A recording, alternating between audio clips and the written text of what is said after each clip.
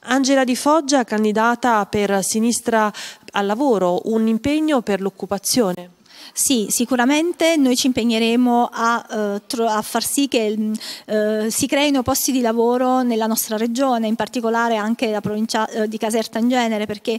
è stata una disoccupazione c'è un aumento della disoccupazione soprattutto nelle nostre terre per,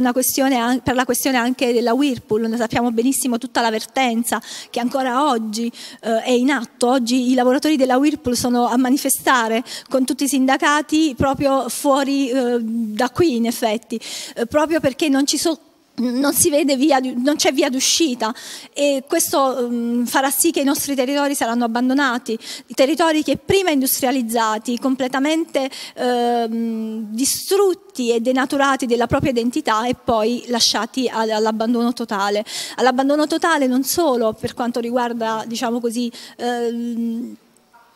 la, la, terra che ormai è stata diciamo così deturpata, ma soprattutto perché ci sono persone che non avranno più come eh, andare avanti, famiglie completamente distrutte che non avranno più il reddito, diciamo, un reddito per poter andare avanti. E soprattutto eh, cioè, ci sono bambini, i bambini eh, che